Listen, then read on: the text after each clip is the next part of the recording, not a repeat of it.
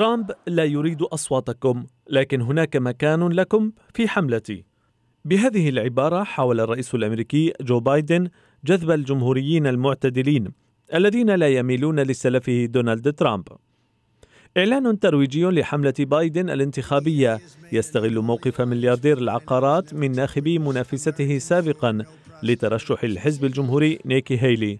الإعلان تضمن مقاطع فيديو تظهر ترامب وهو يصف هيلي بالمجنونة ويلوح بطرد أنصارها من حملته السياسية حتى إن الملياردير الجمهوري ظهر في أحد المقاطع وهو يؤكد قدرته على الفوز من دون دعم مؤيدي هيلي.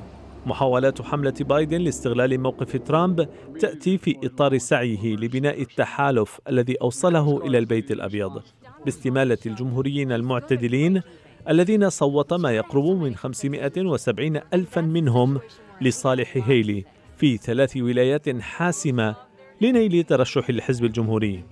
وبالرغم من أن العدد يبدو قليلا لكنه قد يشكل فارقا في السباق الرئاسي والذي شهد منافسات تم حسمها بهامش ضئيل. ولا تقتصر جهود بايدن للفوز في السباق على توسيع دائرة مؤيديه.